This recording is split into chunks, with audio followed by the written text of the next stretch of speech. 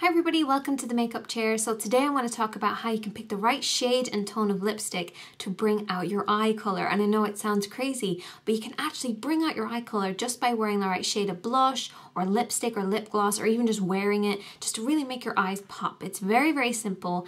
Let's just jump right into it.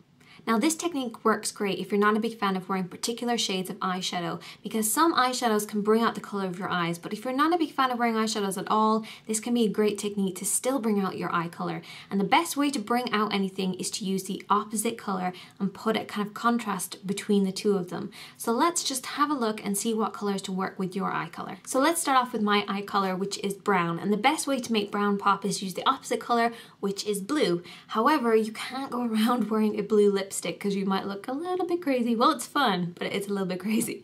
So what you can do is to use a blue tone lipstick. And this, what I have on at the moment, is a blue toned pink. I'm also wearing a blue toned pink top and I'm also wearing up my nails because I'm kind of going all out with a blue tone. So this is what I have on at the moment and it's by NYC and it's called Blue Rose. So there's kind of a hint in there that it has a blue tone in it. This is amazing color because not only does it make your brown eyes pop, but it actually makes the white of your eyes look whiter, it makes your teeth look whiter, and it can really complement a cooler skin tone.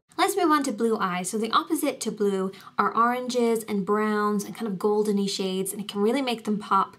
My favorite way of doing it is by using an orange toned lipstick. I have this one by Makeup Geek and it's called Captivating. It's one of my favorite orangey colors because it's not an intense orange. You can still get away with it depending on your skin tone, but it is such a beautiful slight tone of that orange. It's kind of like this one that I'm wearing at the moment. You can still see the blue, but it's not an intense blue color.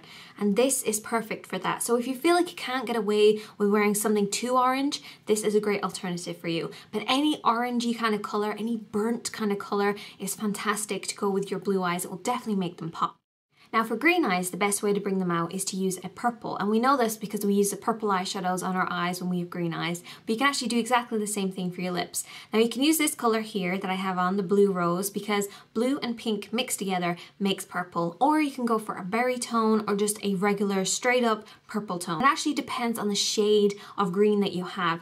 I find if you've got kind of a darker forest green, you might be more likely to go with this color. It definitely complements them more. And then if you've got slightly lighter green color, you can go for slightly lighter kind of purpley tones in it. So I hope that helped you guys out. I'm sorry for my throat. I'm a little bit sick at the moment, but in the description box, I'm going to put some more information. So if you've got kind of hazel eyes and stuff, I haven't left you guys out. It's also in the description box, but you're going to kind of follow along with what we've said in the video and just change it slightly to bring out the different colors within your kind of gray or hazel color eyes. And I will see you guys in my next video. Bye bye.